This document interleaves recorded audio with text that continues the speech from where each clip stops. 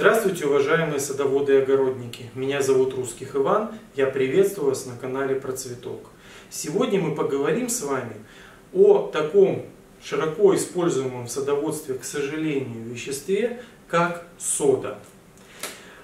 Что только не рекомендуют делать содой и какой только информации можно не найти по поводу использования соды в огороде. Ею и нейтрализуют почву, излишнюю кислотность ею и э, обрабатывают против гусениц, тли, там всевозможных насекомых. Ею э, обрабатывают против болезней. Э, можно найти там 22 способа использования соды в огороде, там кто на, во что гораст. Давайте поговорим о соде совершенно откровенно и, и совершенно правдиво. Что такое сода? Сода бывает двух типов. Это пищевая сода или натрия гидрокарбонат и кальцинированная сода. Это натрия карбонат. И та, и другая сода является карбонатной солью натрия. Что такое натрий для растений? Вообще растения а, делятся на три группы по отношению к натрию. Две из них а, не выносят натрия. Одна из них вообще не выносит натрия, это большинство растений. Э, есть также группа сельскохозяйственных растений, которая выносит небольшие дозы избытка натрия в почве. Она может его использовать в отсутствие калия вместо калия. Вместо калия. И есть третья группа, она очень небольшая и включает растения двух семейств.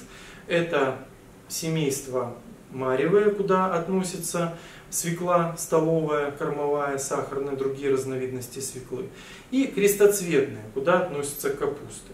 Вот эти растения, капустные и те, которые похожи на свеклу, они нуждаются в небольшом количестве натрия и отзывчивы на внесение натрия.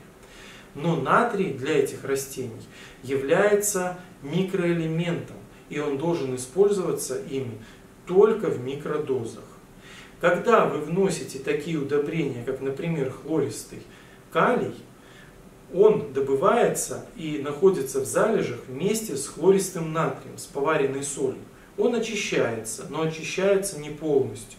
И если вы под эти сельскохозяйственные растения, под свеклу, под капусту, вносите хлористый калий, то одновременно вы вносите и некоторое количество хлористого натрия.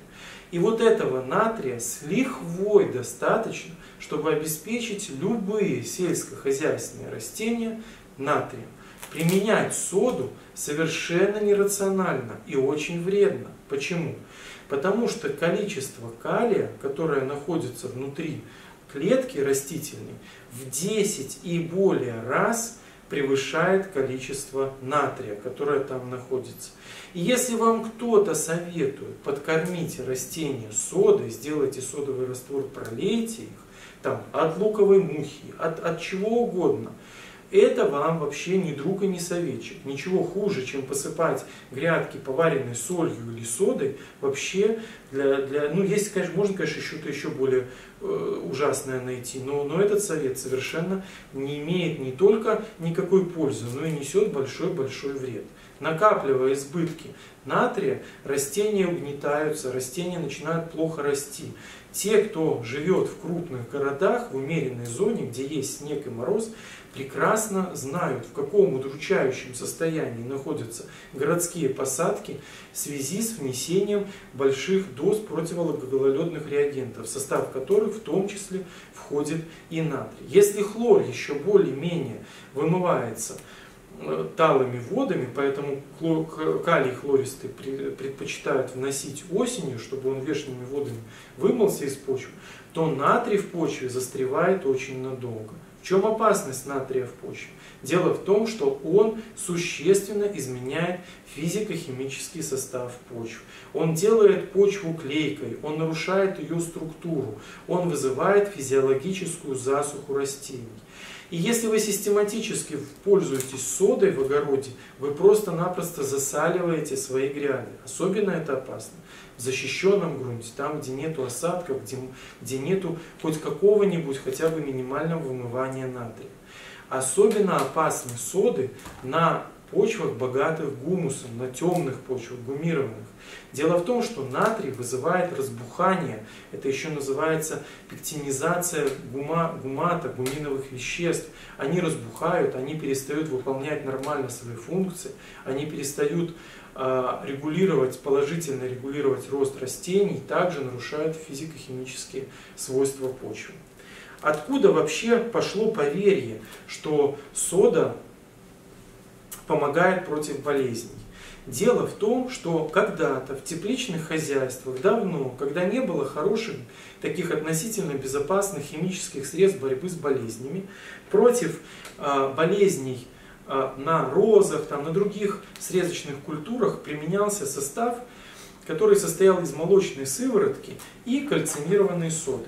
Кальцинированная сода в этом составе участвовала только как нейтрализатор излишней кислотности, молочной кислоты, которая была в сыворотке. У нас есть видео об этом средстве защиты, где мы меняем соду как нейтрализатор на аммиак. И это будет уже весьма и весьма эффективно.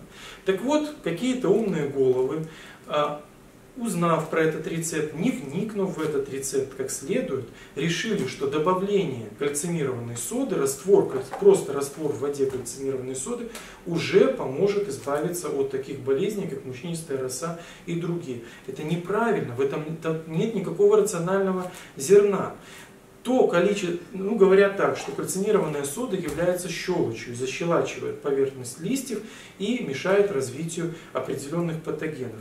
И для того, чтобы там защелачить эту среду, и для того, чтобы патогены перестали там развиться, там нужна такая концентрация соды и такое защелачивание, что растениям мало не покажется. Это просто на, на уровне гибели растений необходимы такие дозы этой соды. Это кроме того, что туда попадет натрий, натрий попадет в растение и наделает там тех бед, про которые я уже сказал. И, к сожалению, такие советы клонируются, расходятся по всевозможным порталам, авторы не удосуживаются прочитать какие-то биологические основы борьбы э, с помощью вот такого содного, содистого раствора и начинают э, давать вот такие вот неграмотные и неправильные советы. Что касается раскисления э, с помощью соды, то здесь тоже наверняка каким-то экспертам, так условно их назовем, вероятно, их смутило слово кальцинированная сода, слово кальций, да, что при недостатке кальция или там когда вносится известковое удобрение, содержащее кальций, что это можно делать. Ничего подобного, это нельзя делать. В кальцинированной соде совершенно отсутствует кальций. Это название ее связано с процессом получения кальцинированной соды, но совершенно никак не связано с составом. Поэтому при дефиците кальция при э, насыщении кальцием тепличных растений, томатов, против борьбы с отдельными э, заболеваниями, там, вершинной гнилью и так далее, э, ни в коем случае нельзя пользоваться кальцинированной содой. Кроме бед вы ничего там не принесете. Все то же самое в полной мере касается и питьевой соды. Пожалуйста, избегайте кальцинированной соды и питьевой соды, использования этих веществ на своем участке, особенно в тех колоссальных дозах, которые рекламируются и рекомендуются для борьбы с вредителями, болезнями и для снижения кислотности почвы. Ничего, кроме вреда, вы этим своим растениям не принесете. Надеюсь, что этот наш выпуск поможет вам избежать ошибок при ведении вашего хозяйства и где-то относиться с опаской, недоверием каким-то расклонированным, растиражированным советам по борьбе с болезнями, вредителями, либо улучшению состояния почвы. На этом я с вами прощаюсь. Всего хорошего.